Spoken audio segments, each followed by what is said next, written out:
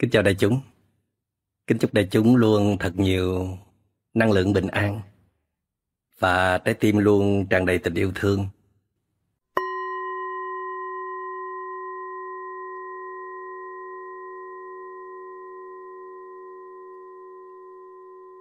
Dừng lại là một giải pháp thông minh và can đảm. Thông minh có nghĩa là mình khôn ngoan mình nhận ra được cái tình trạng của mình nó đang thiếu cái gì. Và mình phải à, bổ túc vào. Và can đảm là tại vì mình đang rất là hăng hái đang rất là hứng chí đang rất là háo thắng đang rất là muốn chứng tỏ muốn thể hiện. Mình à, không muốn mọi người đánh giá thấp về mình mà buộc phải dừng lại thì à, phải có một cái bản lĩnh lớn lắm mới làm được. Ở trong bài hát ngẫu nhiên nhạc sĩ Trịnh Công Sơn có câu là mệt quá đôi chân này tìm tới chiếc ghế nghỉ ngơi. Khi đôi chân của bạn đã quá mệt rồi đi bộ đường xa cả ngày hay là nhiều ngày đã đuối sức rồi thì nếu bạn vẫn còn phục vụ cho cái muốn của mình muốn chinh phục đỉnh cao hay là muốn uh, đi tới một cái đích nào đó mà bạn bất chấp đôi chân của mình thì bạn có thể ngã quỵ nửa đường bạn không thể bước thêm được bước nào nữa. Như vậy thì à, bạn cũng có thể đi về đích, bạn cũng có thể chinh phục nhưng với điều kiện là năng lượng phải tràn đầy. Điều kiện phải đủ thì bạn mới có thể tiến bước được. Vậy thì trong trường hợp này thì bạn phải dừng lại. Dừng lại là một quyết định khôn ngoan để bảo tồn lực lượng trong cái uh, thuật dụng binh này, thì uh, không phải lúc nào cũng tấn công lúc nào cũng tiến tới phía trước hết. Những lúc mà mình thấy uh, binh lính mình uh, năng lượng cạn kiệt rồi thì phải quyết định dừng lại phải lùi lại vài bước. Lùi một bước để tiến ba bước hay để tiến trăm bước đó là một cái điều cần thiết. Chứ không phải lúc nào mình cũng ra vẻ như là mình mạnh mẽ lúc nào mình cũng là người không có vấn đề lúc nào mình cũng sẵn sàng để chiến đấu hết. Nhiều khi đó chỉ là sự lừa đảo của tâm trí thôi. Tự mình lừa đảo đến chính mình. Chứ kỳ thực là mình không có giỏi, không có vững như vậy được. Để làm được một cái quyết định dừng lại không phải dễ. Tại vì à, bạn đang cố gắng xây dựng thành quách cho cái tôi của bạn mà. Nếu bạn dừng lại có nghĩa là bạn đập bỏ cái công trình đó. Hoặc là công trình đó bị chững lại thì bạn sẽ không tìm thấy cái tôi của mình ở đâu được. Bạn thường à, thấy mình có giá trị khi bạn làm được cái này, cái kia, cái nọ. Và bỗng dưng à, kêu bạn phải dừng lại. Thì bạn đâu có chịu. Nhưng mà một cái người à, lữ hành đường xa thì họ ý thức rất là rõ là đôi chân của họ mệt và phải dừng lại. Tại vì họ đi không phải để đối phó, để trình diễn với ai hết. Họ đi cho cuộc hành trình của họ thôi nhưng mà chúng ta thì à, lại phải đối phó, lại phải trình diễn là phải để chứng minh cho mọi người thấy mình là ai, mình như thế nào. Cho nên à, là chúng ta bị kẹt vào cái nhận thức đó, cho nên đã thấy mệt rồi mà chưa chịu dừng lại. Và nhiều khi mình còn không biết là mình đang mệt. Mình tưởng mình còn đang rất là ổn. Nhưng mà kỳ thực là xung quanh ai cũng thấy là phong độ của mình xuống cấp dữ dội. Vậy thì dừng lại là một cái à, cơ hội để chúng ta nạp thêm năng lượng để đi tiếp chứ không phải là dừng lại hẳn. Mệt quá, đôi chân này tìm tới chiếc ghế nghỉ ngơi, tức là tìm một cái điều kiện để nghỉ ngơi tốt nhất. Nhưng mà nếu không có chiếc ghế thì à, thôi à, ngồi bịch xuống đất cũng được, nhưng mà phải dừng lại. Đừng có đi tiếp nữa, đi tiếp nữa là sẽ đổ vỡ, đi tiếp nữa là sẽ sẽ gây ra nguy hiểm và cái điều này nhạc sĩ Trịnh Công Sơn cũng có một lần khác nói trong bảy chiếc lá thu phơi là về đây đứng ngồi. Và tại sao về đây đứng ngồi? Nó đừng có đi nữa. Đứng cũng được, mà ngồi cũng được. Nhưng phải ở đây. Đừng có đi đâu nữa hết. Về đây, đứng, ngồi. Đứng cũng là cố định, mà ngồi cũng là cố định. Tức là nhạc sĩ ngại di chuyển, ngại cho cái người nào đó hay là cho chính mình phải à, lao đi lao theo lao tới phía trước để làm thêm một cái gì đó. Ở trong trường hợp này trong đạo Phật gọi là vô tác không làm gì cả. Và chúng ta thỉnh thoảng cần thực tập vô tác cần không làm gì cả. Nhưng mà kỳ thực là, là chúng ta không làm gì nhưng mà kỳ thực là chúng ta có làm gì? Chúng ta chỉ đang không có cố gắng để mà lao theo những cái mục tiêu mà chúng ta đã từng à, đeo đuổi thôi. Chúng ta chỉ không làm những công việc mà những công việc có tính chất nó phát kiệt năng lượng chúng ta thôi. À, chúng ta không cố gắng để làm những cái việc mà nó có tính chất làm cho chúng ta đánh mất mình ở trong đó. Nhưng mà chúng ta vẫn phải làm chứ. Chúng ta cũng phải à, ít nhất là chúng ta cũng phải đi ăn cũng phải nấu nướng dọn dẹp tắm rửa. Chúng ta cũng phải tập thể dục. Hoặc là chúng ta phải tập yoga chúng ta phải đi ngồi thiền chúng ta phải đọc sách. Cái đó là cũng là doing something rồi.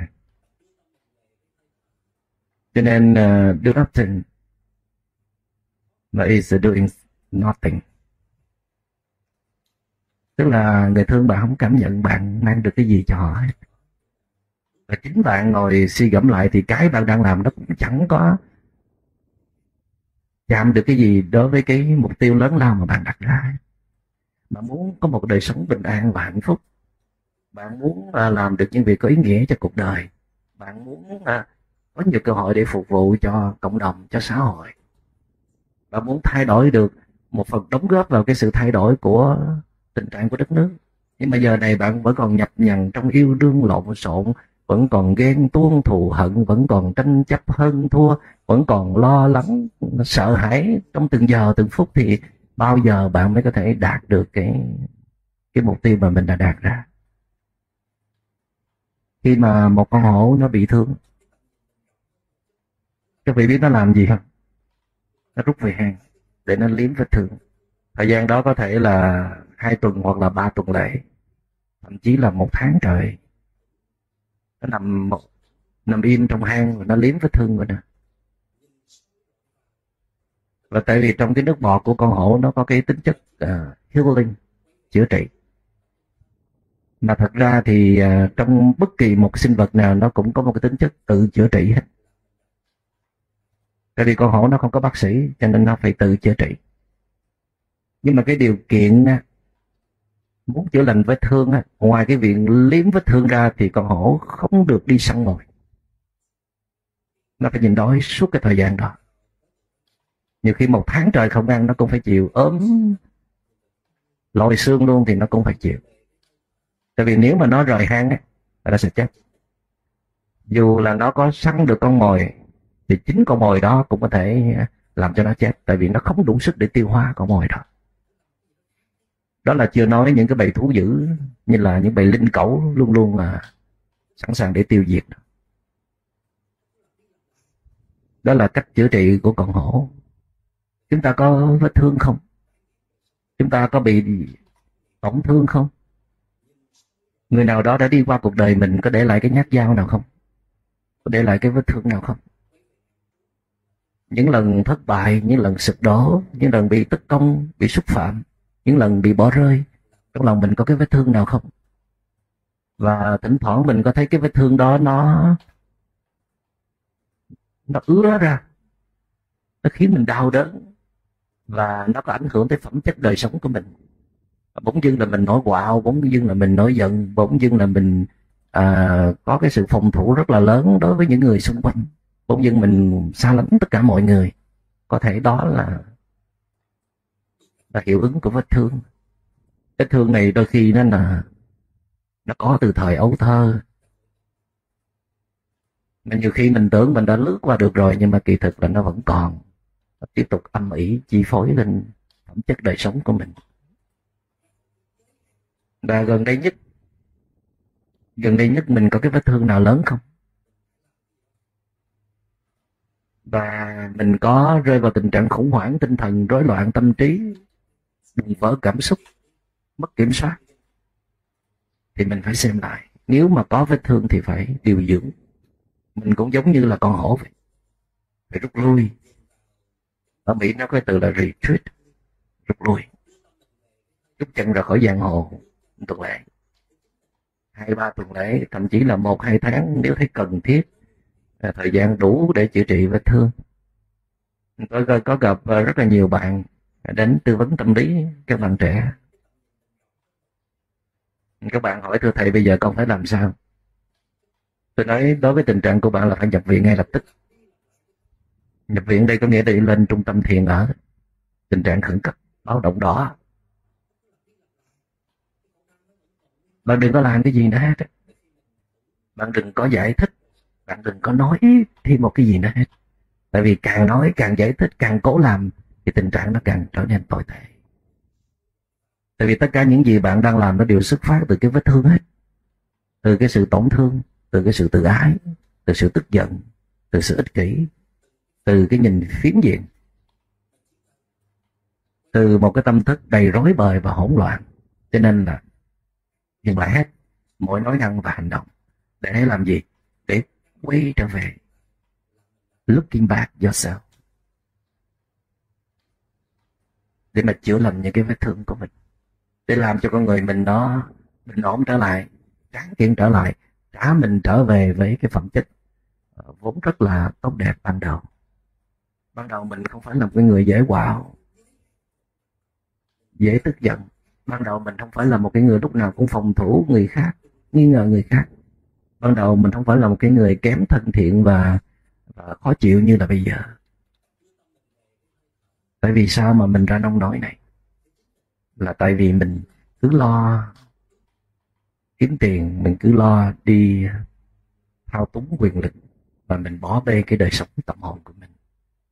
Cho nên là chúng ta cần có những cái khoảng mà chúng ta thường hay gọi là khoảng lặng, hay là những cái khoảng để mà không làm gì cả. Doing nothing. Chúng ta gọi là doing nothing hay hơn là nothing to do tại vì nothing to do là kiếm việc làm, không có gì để làm hết. Muốn làm, không có gì làm hết, gọi là nothing to do. Còn đây là doing nothing. Tức là không làm gì là một việc làm rất là khó đó các bạn. Khó lắm. Giống như là bạn đang đang ngồi thiền, bạn đang hành thiền, là bạn cũng doing something, right? Nhưng mà ở đây bạn không có tiếp tục chế tác ra chất độc nữa. Bạn không tiếp tục xây đắp cái con người cũ kỹ đầy phiền muộn của mình nữa. Bạn không có tiếp tục bào mòn năng lượng của mình nữa. Thì ở đây bạn làm mà như không có làm. Doing something like uh, doing nothing.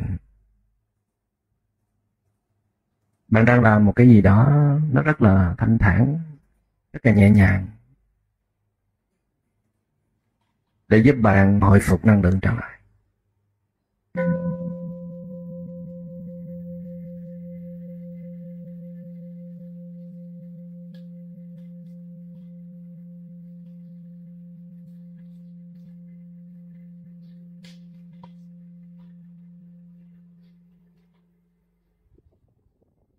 Cái chữ uh, vô tác ở trong đạo Phật. Đầu tiên nó có một cái ý nghĩa là bạn không làm gì cả. Đây là chỉ là cái nghĩa đầu tiên thôi. Bạn nhớ là bạn cần có một cái khả năng không làm gì cả thì nó mới nó mới giải quyết được vấn đề. Nó mới làm cho bạn tốt hơn được is uh, doing something wrong better than doing nothing bạn có nghĩ là bạn làm cái gì đó nó còn tệ hơn là bạn không làm gì không? Is doing something wrong better than doing nothing? Bạn đừng có tưởng là mình phải làm, lúc nào phải làm một cái gì đó. Mình phải nói cái gì đó để cho người đó tin mình. Thì khi bạn càng nói với người đó càng ngờ vực bạn. Và khi bạn im lặng, mà không nói nữa, thì người đó mới bắt đầu có niềm tin nơi bạn bạn cố làm để chứng tỏ bạn không phải là kẻ tệ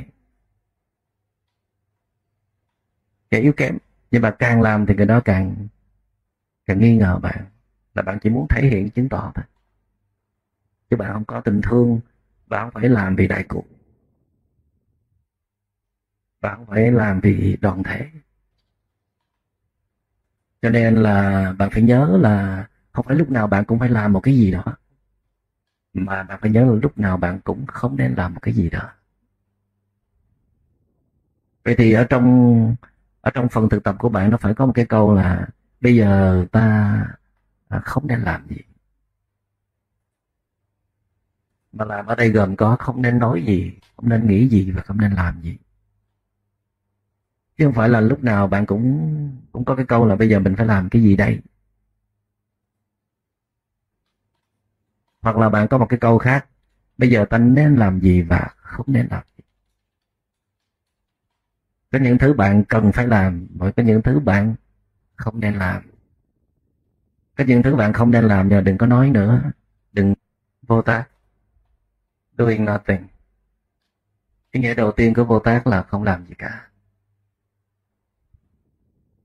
ở đây là chúng ta muốn nói tới những cái việc làm lớn, như là đi làm, để kiếm tiền, hay là yêu đương. Hai cái việc này nó lấy năng lượng của chúng ta nhiều nhất. Vậy thì cái nào mà nó đang không có tốt lắm á, là đang xuống cấp thì chúng ta phải tạm dừng lại. Hoặc là chúng ta sẽ, chúng ta sẽ tạm dừng lại, không làm việc đó nữa một thời gian ví dụ như là mình xin người đó là mình tạm thời không có nói chuyện với người đó ba ngày. Ở đây không phải là giận hờn mà đây là mình muốn quay về để mình làm mới renew cái con người của mình lại. Tại vì mình thấy uh, thời gian gần đây mỗi lần mình nói ra là hiểu lầm nói ra là gây tổn thương cho người đó. Để nói ra là tranh cãi cho nên là mình xin mình có ba ngày thực tập im lặng chẳng hạn. Nhưng là mình phải báo cho người đó biết hoặc là mình xin ba ngày mình không có tiếp xúc với người đó không có điện thoại không nấu ăn không gặp gỡ không có uh, conversation không có bất cứ một cái uh, cuộc trao đổi nào hết để mà mình nhìn lại cái phẩm chất đời sống của mình. Còn đối với công việc cũng vậy nếu mình thấy thời gian gần đây mình làm đâu thất bại đó làm đâu là hư hao đó cho nên là mình uh, xin với sếp là cho mình được uh, nghỉ ngơi rút lui tuần lễ hoặc là hai tuần để mình đến uh, bản hoa anh đào mình tu thiền. Để mình có cơ hội để uh, mình uh, nhìn lại mình. Thì dĩ nhiên là khi bạn đến bản hoa anh đào thì bạn uh, không có tiếp tục công việc của bạn nữa. Bạn không có tiếp tục yêu đương nữa. Bạn tới đây để bạn uh, chăm sóc bản thân bạn thôi. Thì bạn phải doing something phải không? Bạn cũng phải làm một cái gì đó. Bạn cũng phải uh, uh, chấp tác làm việc giống như là bạn phải làm cỏ bạn phải đi nhặt củi rồi à, bạn cũng phải tham gia vào nấu ăn rồi dọn dẹp rồi thậm chí là cắm hoa rồi à, kết nối với những người xung quanh. Nhưng mà tất cả những việc đó nó rất là nhàn hạ rất là nhẹ nhàng. Bạn chỉ làm những cái việc gì mà nó không có tiêu hao năng lượng của bạn. Không có đánh mất bạn ở trong đó. Thì bạn cũng phải làm một vài thứ chứ không phải là doing uh, nothing là bạn không làm gì cả. Nhưng mà nếu bạn quét nhà bạn nấu ăn mà bạn làm có cũng có chuyện xảy ra. Cũng có sự thể hiện cũng có sự chứng tỏ cũng có sự lấn lướt cũng có sự giận hờn cũng có sự hiểu lầm thì thôi không làm gì hết luôn. Xin uh, thầy tới đây chỉ được 7 ngày không có làm gì hết. Ngồi im một chỗ. Chỉ đi ngồi thiền chỉ uh, à, đi thiền hành rồi chỉ làm thiền buông thư và thiền ăn thôi. Ngoài ra không có làm gì hết. Nhưng kỳ thực là bạn vẫn doing something rồi cái đó cũng gọi là làm. Nhưng mà nếu mà cái việc mà bạn ngồi thiền nó cũng mắc kẹt luôn á. Cái chuyện đi thiền hành cũng mắc kẹt luôn. Rồi cái chuyện à, thiền ăn cũng mắc kẹt luôn. Bạn biết mắc kẹt là sao không? Là tại vì nhiều khi mình ngồi thiền cái mình coi thường những người không ngồi thiền. Mình ngồi thiền cái mình có sự tự hào về mình. Rồi đi thiền hành cũng vậy cái tâm mình nó khủng khiếp lắm. Nó kiếm đủ mọi chỗ để mà nó nó bám víu hết. Kể cả những việc nhỏ nhất nó cũng có chịu buông tha. Ví dụ khi bạn làm việc mà bạn làm nhiều hơn người khác một chút, chưa chắc là bạn có tình thương đâu. Có thể là bạn muốn cho mọi người biết là bạn là người giỏi chẳng hạn. Nó dữ dằn lắm á. Cho nên đến lúc, đến nỗi mà vào những cái khóa thiền chuyên sâu đó, là suốt 10 ngày là bạn không được làm gì hết luôn. Bạn chỉ được đi ngồi thiền, đi thiền hành và một số cái à, bài thực tập thiền khác. Nhưng mà bạn vẫn vẫn chịu sự quan sát của đoàn thể. Nếu mà cái việc ngồi thiền quá mức của bạn, nó làm cho bản ngã bạn phát triển, thì bạn cũng phải dừng lại. Thì thì cái không làm gì cả đó là là để bạn phát triển cái nội lực của bạn. Còn nếu bạn không làm gì cả mà nội lực bạn đi xuống thì đó là wrong way. Tại vì có nhiều người không làm gì cả thì nằm một đống ở trên giường đó mà nghe nhạc nghe những bản tình sầu đứt ruột. Và không làm gì cả thì à, đi lên mạng chit chat rồi hay là xem phim. Không làm gì cả thì ngủ ly bì từ ngày này qua ngày khác. Không làm gì cả thì đi shopping. Thì cái đó là là cái đó không phải là không làm gì cả. Cái đó là làm quá trời làm mà những việc làm đó nó còn tiêu hao năng lượng nữa. Vậy thì chúng ta không làm gì cả là để nạp năng lượng trở lại. Thì bạn phải chọn cái cách nào đó để bạn không làm gì mà mà nạp năng lượng trở lại. Thì một trong những đề nghị của tôi đó là bạn nên xách một cái ba lô đi về miền hoang dã đi lên miền sơn cước uh, hay là đi ở đâu xa một mình bạn thôi. Chứ rủ hai người là phiền lắm rủ thêm người nữa là phiền lắm. Hoặc là bạn xách gói đến trung tâm thiền ở một thời gian để bạn doing nothing. Tiếp theo nói tới đây để các bạn à, cùng đồng ý với tôi rằng là chúng ta cần có những cái khoảng không làm gì cả. Điều đó rất là quan trọng. Và trong cái khoảng thời gian này thì mình thấy được giữ gìn cái tâm bình an của mình là quan trọng nhất. Được uh, kết nối với sự sống được trở về với chính mình để làm mới lại con người mình là quan trọng nhất. Còn những thứ khác không có quan trọng nữa nhưng mà chúng ta là một con người cho nên là chúng ta phải mưu sinh chúng ta phải kiếm sống chúng ta không thể doing nothing hoài được. Chúng ta phải phải doing something phải làm cái gì đó.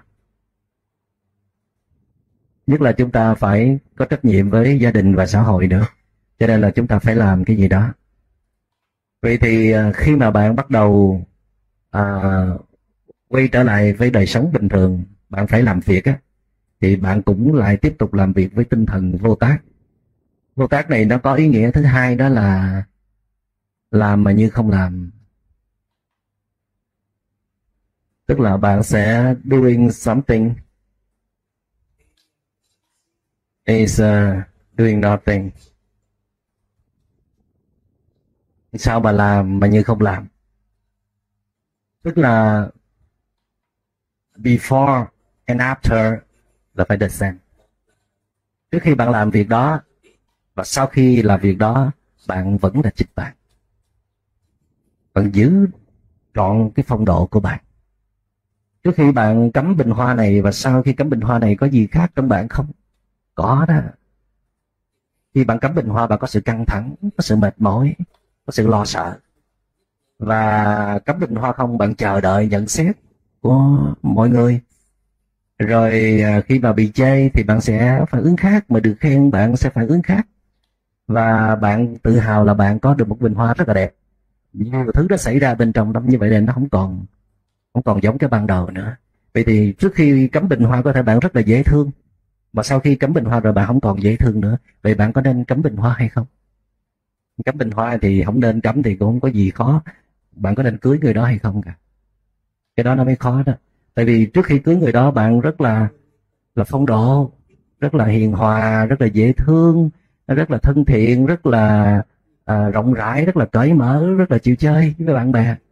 Bỗng dưng khi bạn cưới người đó rồi bạn trở nên là sợ hãi trở nên là nhút nhát trở nên là căng thẳng trở nên là lúc nào cũng dè dặt à, toan tính lúc nào cũng phòng thủ hết.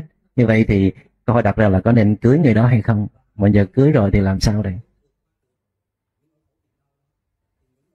Ở đây là cái vấn đề được đưa ra, cái chữ vô tác là muốn bảo vệ cái phẩm chất của bạn, bảo vệ tâm hồn của bạn. Tại vì cái thứ đó nó làm cho bạn có hạnh phúc, chứ không phải là công việc làm cho bạn có hạnh phúc. Công việc là một cái thứ phương tiện thôi, một cái means, một cái phương tiện. Còn hạnh phúc là cái cái cứu cánh? Hay là cái mục đích? Cái goal?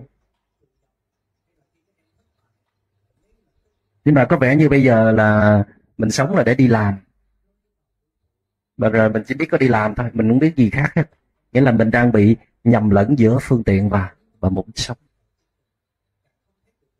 Mục đích đó là sống một cuộc sống có bình an, có hạnh phúc rồi thưởng thức được cuộc sống mà mình đang có, làm cho cuộc sống mình có ý nghĩa, làm cho cuộc sống người khác có ý nghĩa, làm cho cuộc đời này tươi đẹp hơn. Đó là cái mục đích của cuộc đời mình, chứ không phải là mục đích của mình để kiếm thiệt nhiều tiền.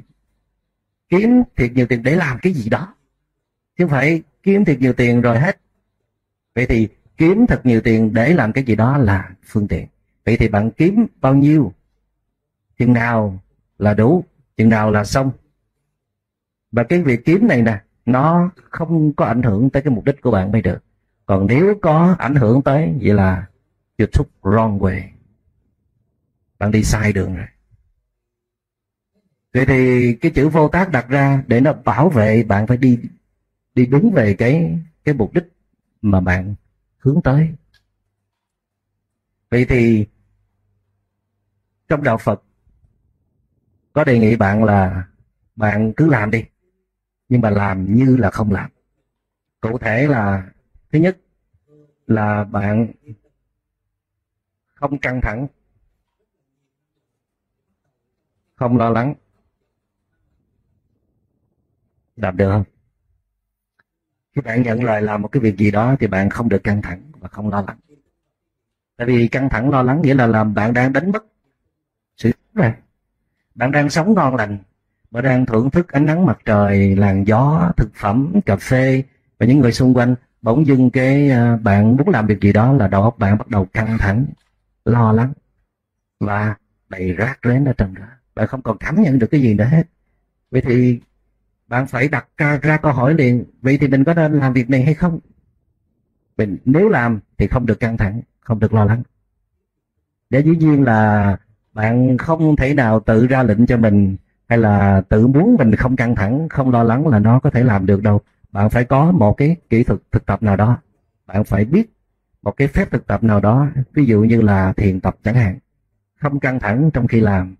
À, cấm bình hoa thì có thể không căng thẳng đó. Nhưng mà nấu ăn là chưa chắc à. Nấu ăn thì nó phức tạp hơn là cấm hoa.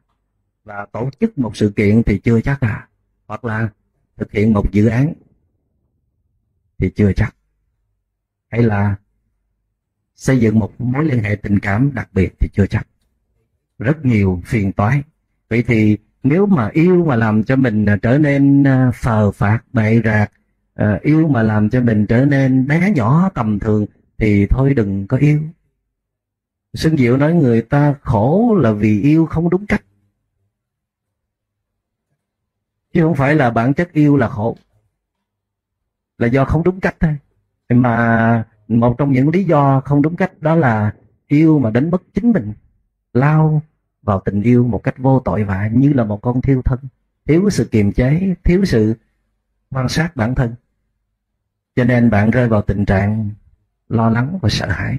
Càng lo lắng thì càng căng thẳng. Vậy thì từ những cái việc nhỏ nhất đến những cái việc lớn á, mà nếu bạn muốn do in bạn muốn làm thì, thì với cái điều kiện đó là không căng thẳng và không lo lắng. Còn nếu buộc phải làm, không có thể tránh né được, không có sự chọn lựa, thì bạn phải có một cái phép thực hành nào đó để giúp cho bạn vừa làm việc mà vừa có thể vượt thoát được sự căng thẳng hay là sự lo lắng. Yếu tố thứ hai của làm mà như không làm, đó là làm cái gì đó chứ? Chứ chẳng lẽ ngồi đó để hưởng hạnh phúc mãi sao? Tại vì chúng ta còn nhiều trách nhiệm và bổn phận, và chúng ta cũng phải đi đâu đó chứ. Nhưng mà cho dù có làm cái gì, có đi đâu thì but I don't need to hurry. Tức là từ hồi trước tới giờ là mình sợ cái sự hấp tấp vội vàng quá rồi. Cho nên là mình chấm dứt, no longer in a hurry. Tôi không muốn lo lắng, tôi không muốn vội vàng hấp tấp nữa. Cho nên là tôi muốn ngồi yên thôi. Nhưng mà ngồi yên mãi thì làm sao mà sống được? Cũng phải doing something chứ ha vậy thì nếu mà có làm cái gì thì tôi cũng sẽ tự hứa là làm trong sự khoan thai từ tốn, làm mà có sự thưởng thức. Enjoy. Bạn phải thưởng thức công việc bạn đang làm. Nếu mà bạn làm việc một ngày 8 tiếng hay là 10 tiếng chỉ để lãnh lương cuối tháng là vài triệu bạc thôi thì nó oan ức lắm. Nó không có xứng với những gì bạn đang bỏ ra tại vì người ta chỉ trả tiền trên cái trên cái khả năng làm việc của bạn. Nhưng mà người ta không trả tiền cho bạn được cái mồ hôi, cái công sức, cái tâm huyết, cái sự hy sinh, cái sự cống hiến của bạn được. Cho nên bạn phải tự trả cho mình thôi. Bằng cách đó là gì? Trong khi bạn làm, bạn tự thưởng thức cái công việc mình đang làm. Thứ nhất là mình làm tốt cái tác phẩm của mình.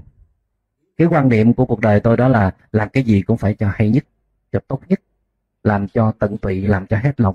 Tại vì làm ở đây không phải là để cho người khác, mà làm cho chính bạn. Nghĩa là bạn đang hình thành trong tâm thức bạn cái cơ chế rất là tuyệt hảo. Đó là làm cái gì cũng hết lòng, hết dạ. Thành một cái thói quen rồi. Sau này bạn ở bất cứ môi trường nào, bạn cũng sống như vậy hết. Và khi bạn sống như vậy, nghĩa là bạn luôn tạo ra những cái tác phẩm tốt đẹp. Hay là một cách khác mà tôi nghĩ đó là những cái gì mình làm ra đều là sản phẩm của mình hết đều là cái, những cái production của mình. Và mình phải phải đóng con dấu ở trong đó, made in bởi cái gì đó. Là bạn làm bạn là người sắp ra cái tòa cụ này, bạn là pha bình trà này, bạn là người cắm bình hoa kia, bạn là người để đôi dép đó, bạn là người nấu ăn, bạn là người vừa phát biểu câu nói đó, bạn vừa bước đi ngang qua cái lối đó. Tất cả những cái đó không phải là của bạn thì là của ai? Vậy thì bạn phải chịu trách nhiệm cho hành động của mình. Cái câu nói của thiền sư thích nhất hạnh tôi rất là thích, đó là bạn phải, mỗi cái tác phẩm của bạn đều mang cái chữ ký của bạn.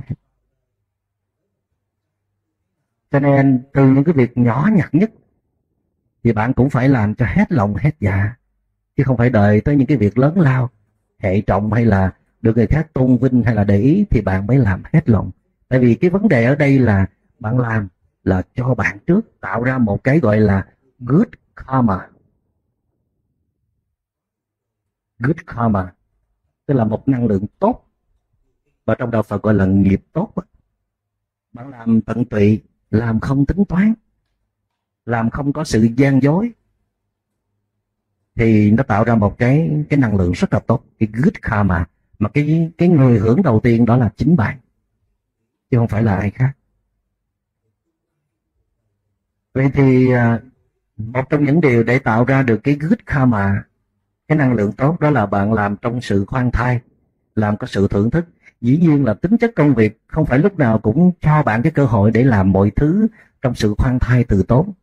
Ở trong môi trường thiền này thì dễ rồi, nhưng mà cuộc sống bên ngoài luôn có áp lực. Thì trong trường hợp đó, buộc bạn phải nhanh. Thì nhanh như vậy là bất đắc dĩ, là bất khả kháng thì bạn phải chịu. Nhưng mà bạn vẫn có thể quan sát được cái tiến trình nhanh đó, thí dụ khi bạn đi bộ thì bạn quan sát được bước chân. Nhưng khi bạn chạy, bạn cũng quan sát được rồi. Nhưng mà khi chạy thì quan sát ít hơn, được ít hơn là là khi bạn đi chậm. Vậy thì khi bạn làm việc á, mà với một tốc độ chậm thì bạn dễ thư giãn, thoải mái hơn là bạn làm việc với tốc độ nhanh. Nhưng mà như đã nói, tốc độ nhanh này là do hoàn cảnh bị áp đặt, bị bắt buộc cho nên bạn phải làm như thế còn những trường hợp bạn chủ động được, nhất là những công việc của riêng bạn, thì bạn phải làm với thái độ là không hấp tấp, không vội vàng. Chỉ e là bạn đã xây dựng ở trong tâm thức bạn cơ chế lúc nào cũng nhanh hết, lúc nào cũng hấp tấp, vội vàng hết. Cho nên bạn đã quen với cái thói quen đó mà bạn đã bỏ lỡ cơ hội thưởng thức cuộc sống. Tại sao bạn không thưởng thức khi bạn đang nấu ăn? Tại sao bạn không thưởng thức khi bạn lau nhà? Tại sao bạn không thưởng thức khi bạn đang nói chuyện trên điện thoại? Nói chuyện trên điện thoại mình cũng thưởng thức được cái giọng của mình vậy. Tại sao bạn không thưởng thức khi bạn đi bộ, đi lên cầu thang, đi xuống cầu thang? Có rất nhiều cơ hội. Chứ bạn đừng có đổ thừa hoàn cảnh, đổ thừa công việc là không cho bạn có cơ hội để bạn bạn tránh đi được cái thói quen hấp tấp vội vàng. Yếu tố thứ ba của làm mà như không làm tức là không bị cuốn vào công việc. À, các bạn của công ty Iway à, sắp có bài thực tập. Tức là ngày mai các bạn có cái phiên họp lớn phải không? Cả ngày. Bây giờ mình họp làm sao? Họp một giống như không có họp. Đừng có trước khi họp rất là vui với nhau và họp xong rồi không ai nhìn mặt nhau được hết. Mình phải xác định cái chính là gì? Cái chính đó là tất nhiên là mình cần giải quyết công việc mà bên cạnh đó có những cái quan trọng khác đó là tình huynh đệ. Đôi khi ờ, chúng ta vì muốn uh, muốn giải quyết công việc cho thật tốt được rồi uh, hãy thở. Chúng ta muốn làm tròn cái trách nhiệm của mình mà chúng ta đã đã không có để ý đối với những cộng sự của mình. Chúng ta thậm chí còn gây tổn thương gây nát lòng những người cộng sự của mình rồi tôi đã từng là nạn nhân như vậy. Ngày xưa rất là khó để tìm người cộng tác với mình. Tại vì cái đòi hỏi của tôi rất là cao. Rồi cho nên là à, các bạn mà làm chúng tôi yếu kém tôi cho nghỉ hết để tôi làm cho. Tôi chấp nhận là thức đêm thức hôm làm bao dùm hết luôn để làm sao đạt được cái mức tốt nhất có thể. Nhưng mà kết quả đó là sau đó là không ai dám chơi với mình hết. Người ta né mình hết. Người ta rất là sợ mình và lúc đó mình mới ý thức được rằng à, cuối cùng thì công việc nó cũng qua đi. Hết việc này rồi tới việc khác. Cái còn lại của chúng ta là gì? Tình huynh đệ tình người với nhau.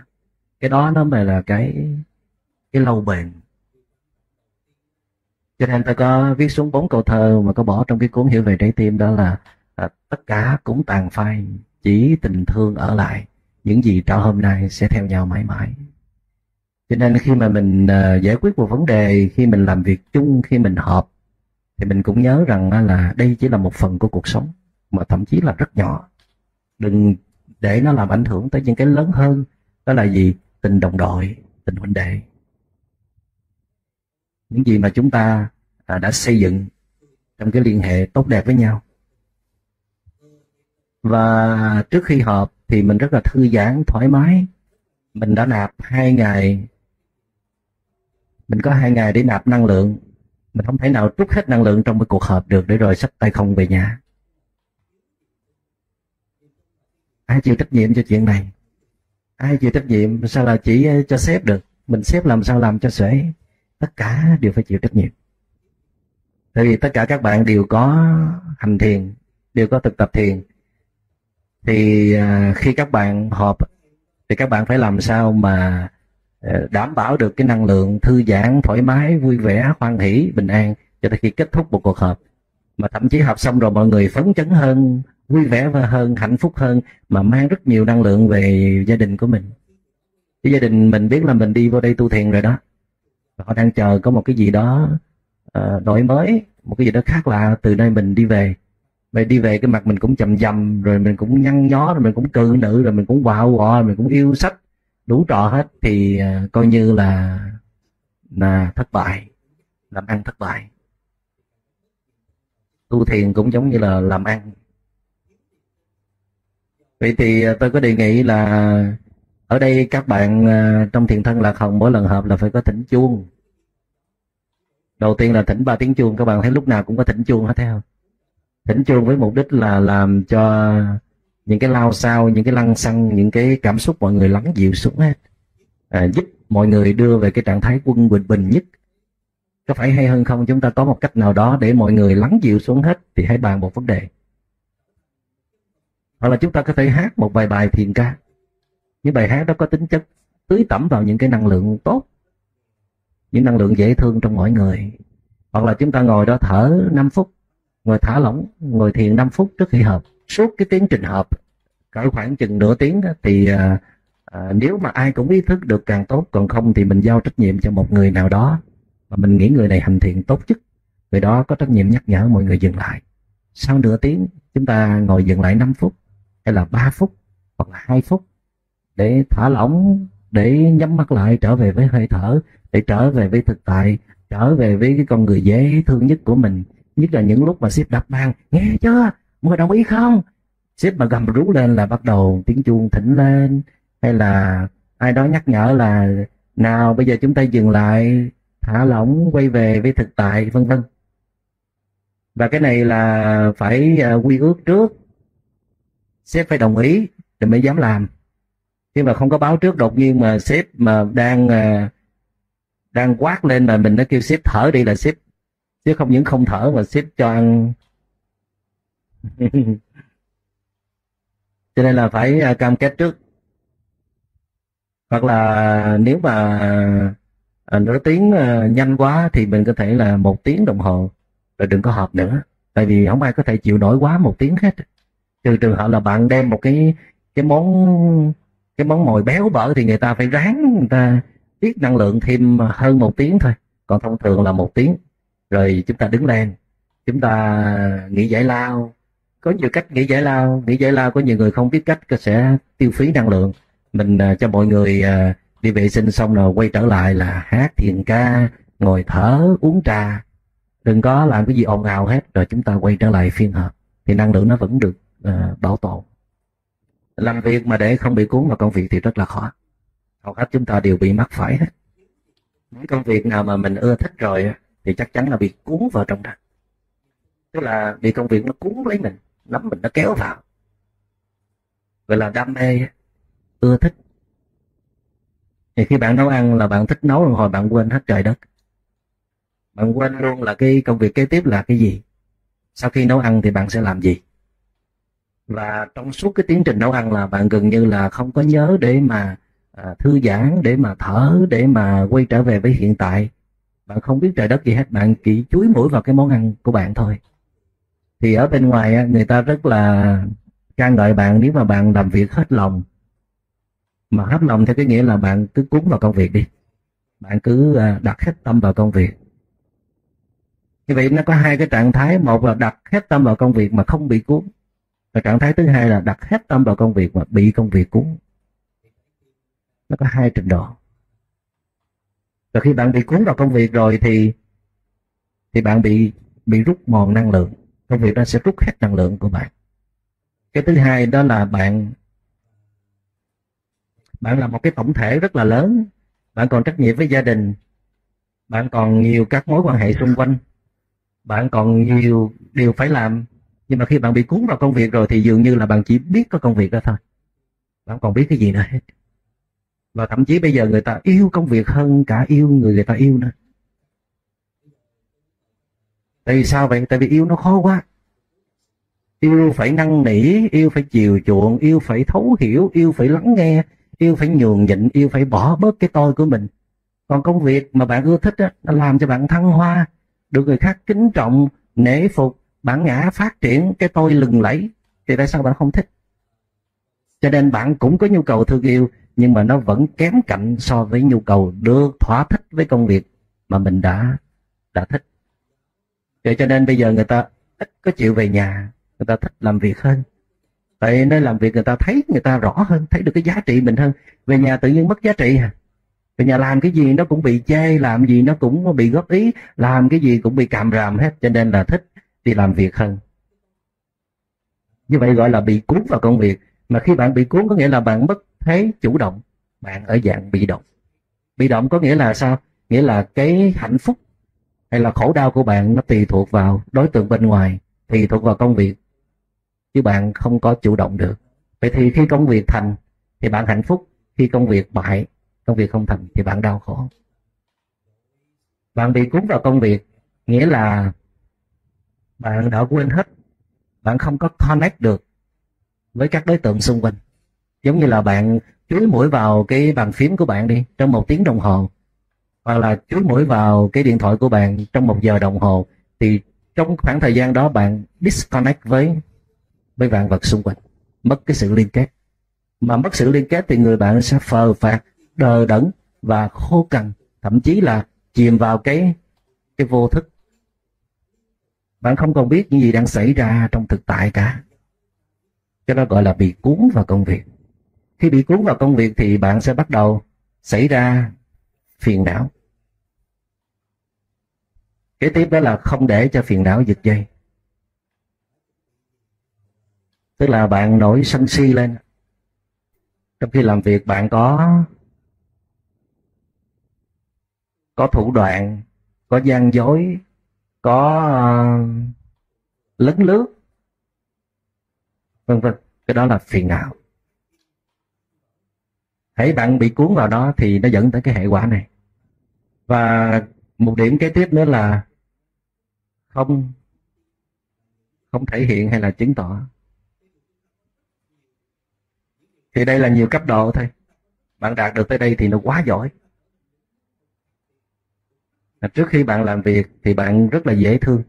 Trong khi làm việc bạn vẫn dễ thương và kết thúc công việc bạn vẫn dễ thương. Nghĩa là bạn đạt được tinh thần vô tác cũng như là công việc nó không có làm phiền được bạn. Không có làm ảnh hưởng tới cái phẩm chất đạo đức của bạn vậy thì bạn đã vận hành đúng với cái universal principle, nguyên tắc vận hành của trời đất. Bạn có mặt trong cuộc đời này không phải để đi làm, để thể hiện thế này, thế nọ. Bạn có thể hiện bấy thì bạn qua mặt được trời đất không? Trời đất dập cho một cú là tơi bời, hoa lá luôn. Ở đó là thể hiện. Cho nên cái sự thể hiện là cái sự hiểu lầm, wrong perception trong cái nhận thức của con người rằng mình là một cá thể biệt lập. Cho nên là mình phải nổi trội, mình phải hơn, mình phải vượt qua mặt người khác. Nhưng mà trong cái quy tắc vận hành của trời đất thì mỗi cá thể đều bình đẳng trong một bản thể. Khi bạn vượt trội thì thế nào cũng bị đưa xuống thôi. Ở cách này hay là cách khác? Bạn có thể nhỉnh hơn người khác một chút về danh dự, về quyền lực, nhưng mà bạn sẽ lận đận trong tình trường khổ đau, là sức khỏe, là nhiều thứ khác. Không có bao giờ mà bạn có thể đạt được một cái mức gọi là hơn người hoàn toàn hết. Được cái này thì bạn phải mất cái khác cái đỉnh cuối cùng của, cái đỉnh cao nhất của làm mà như không làm, đó là làm mà không phát triển bản ngã. Bản ngã hay là cái tôi? Bản ngã là tiếng hán việt ego ở đây bạn hoa anh đào đang cố gắng thực tập về cái phần vô tác cái mức tốt nhất có thể. Tại vì à, các bạn ở đây đang trong quá trình à, muốn à, đào luyện để trở thành các chuyên gia tâm lý trị liệu. Mà một chuyên gia tâm lý trị liệu theo tôi là phải là một cái người à, có rất nhiều năng lượng bình an. Một người có nhiều tình thương một người có trí tuệ. Chứ không phải là một cái người nắm vững được các kỹ thuật về à, về về tư vấn về tâm lý. Ở đây các bạn cũng học một ít về cái lý thuyết. Nhưng cái chính là các bạn phải thực hành phải đào luyện con người của mình. Cho nên trong quá trình đào luyện đó các bạn à, phải trải qua nhiều cái bài thực tập xương máu. Nhiều khi nó không phải nó đến từ cái việc à, bị hành hạ về à, thể chất. Tức là bắt các bạn phải à, à, trèo non lội núi hết đất chạy bộ là tập võ mỗi ngày. Mà nó đến từ những cái bài tập từ đời sống tinh thần. Có những bạn làm những công việc giữ những công việc rất là quan trọng của tập thể. Nhưng mà nếu bạn đó làm việc không có phẩm chất và đang làm việc mà công việc không có phẩm chất đã đành rồi, mà chính bạn đó cũng không có phẩm chất. Tức là bạn làm việc trong sự căng thẳng, trong sự mệt mỏi, làm việc mà có sự tự hào, có sự thể hiện, làm việc mà có đặt cái bản ngã mình trong đó, có chút uy quyền trong đó là bạn đó được mời dừng lại ngay lập tức. Dừng công việc đó. Bạn đó sẽ được ban tặng một đặc ân là đó, bỏ những cái công việc bên ngoài đó các bạn bên ngoài làm những công việc rất là quan trọng, làm được những việc to tát. Có những cái vị trí quan trọng trong xã hội, các bạn đã bỏ hết rồi. Thì các bạn vào đây chọn cái con đường lý tưởng, đó là chọn con đường à, làm việc phục vụ cộng đồng. Nhưng mà đâu phải à, cái con, cái cái tâm mình lúc nào nó cũng à, tuân thủ theo cái ý niệm ban đầu của mình đâu. Cái con người cũ nó lại xuất hiện, nó lại muốn làm, lại muốn thể hiện, lại muốn chứng tỏ và nó chỉ cảm thấy nó có giá trị khi nó làm được cái gì đó. Vậy là bạn ấy đã trượt ra khỏi cái quỹ đạo. Cho nên thầy là cái người hướng dẫn, thầy buộc lòng phải mời bạn đó dừng lại. Dừng lại là để bảo vệ cho bạn đó. Và cũng bảo vệ cho đoàn thể luôn. Ở đây đoàn thể à, cần phải làm việc và cần phải phát triển nhiều lắm. Và thầy rất là muốn à, các bạn phải trưởng thành nhanh, giỏi nhanh để mà à, kịp đi theo những cái dự án của thầy. Nhưng mà các bạn đều là những người mới thực tập hết, rất là khó đi vượt qua những cái ái này. Làm mà như không làm. Muốn mà làm mà bị mắc kẹt thì thôi, thà không làm, thà không phát triển gì cả. Chỉ biết nhiêu đó thôi. Rồi từ từ phát triển sao? Mặc dù là cái muốn phát triển trong người thì nó mạnh lắm chứ, nhưng mà không có người để mà tiếp sức với mình. Tại vì tiếp sức có nghĩa là làm phải đạt cái trình độ, không có đặt bản ngã trong đó. Làm mà không có vướng kẹt vào trong đó làm mà không có đánh mất cái sự thực tập ở trong đó thì mới cho làm. Còn nếu mà làm mà hư bộ hư đường hết mượn cái công việc để mà thể hiện chính mình thì không cho làm nữa. Thì bạn biết rằng khi mà bạn đó làm thậm chí có những bạn đang làm rất là tốt mà thầy cũng phải cho nghỉ nữa. Tại vì làm rất tốt tức là đạt được phẩm chất của công việc thôi mà bạn ấy thì lại không có phẩm chất. Bạn ấy trở nên căng thẳng mệt mỏi trở nên quạ quọ khó chịu trở nên uh, muốn chứng tỏ uy quyền thì bạn đó cũng phải buộc phải dừng lại. Mà khi mà một cái người làm một cái việc gì rất là tốt, mà mình đã bỏ công sức ra huấn luyện, đào tạo họ rồi, mình nửa chừng phải buộc họ dừng lại. Bạn biết cái sự thất thoát, cái sự tổn hại nó như thế nào? Mình phải đào lại, đào tạo từ đầu lại một người khác. Thì chỉ những cái đoàn thể như thầy ở đây đó, như bản hoa anh đào thì mới dám làm chuyện đó. Có nghĩa là dừng lại mà nó không quá ảnh hưởng đến cái quyền lợi của người khác hay là quyền lợi chung của đoàn thể. Tại vì cái quyền lợi của đoàn thể đây là đặt cái mức đó là vô tác lên hàng đầu. Vì vậy cho nên đi theo cái chỉ tiêu vô tác vậy cho nên là có thất thoát thì đó cũng không phải là cái chuyện quan trọng. Quan trọng là tạo ra được cái phẩm chất cho các bạn. Cho nên ở đây tôi chỉ muốn à, à, nói ra có một cái mô hình như vậy để các bạn ở những cái tập đoàn ở những công ty bên ngoài học hỏi được bao nhiêu học hỏi theo được bao nhiêu thì theo chắc chắn các bạn không thể nào đi tới tận cùng của ý nghĩa vô tác được. Nên với các bạn, cái tâm niệm của tôi rằng là các bạn đến đây à, dù có đi đến tận cùng của cái mục tiêu mình hay không, thì khi ra về các bạn phải có hành trang rất là tốt đi trở về. Cho nên à, tới đây không phải là để phục vụ, chỉ để phục vụ cho tôi là cho đoàn thể. Tới đây là để được tu tập chuyển hóa. Còn làm việc chỉ là cái phần means, cái phần phụ thôi. Trên thực tế là vậy đó. Nhưng mà các bạn thử tưởng tượng một người đang rất là yêu thích công việc họ đang làm bạn mời họ dừng lại coi, họ phải sốc chứ, họ phải buồn chứ, họ phải lạc lõng chứ, thậm chí họ còn giận thầy nữa. Nhưng mà để cứu lấy cái tình trạng của họ thì bạn phải rút gươm ra.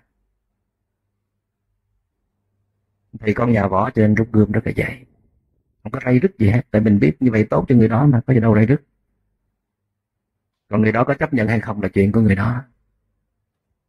Từ từ thì họ sẽ hiểu. Cho nên là có những lúc bạn không nên đặt tình cảm vào để giải quyết một vấn đề quan trọng. Ở trong nhà thiền nó có hai cái lối để mà huấn luyện một người. Một là ân tình, dùng tình cảm, dùng sự yêu thương, dùng sự nâng đỡ. Hai đó là uy lực nghiêm khắc.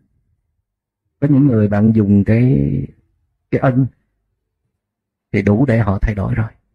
Nhưng mà có những người bạn phải dùng từ cái uy. Hoặc là cũng con người đó, có lúc bạn phải dùng ân, có lúc bạn phải dùng uy. Thì mới có thể giúp họ tỉnh ngộ và thay đổi được. Làm cái gì tốt cho họ thì bạn cứ làm. Dù đó là ân hay là uy.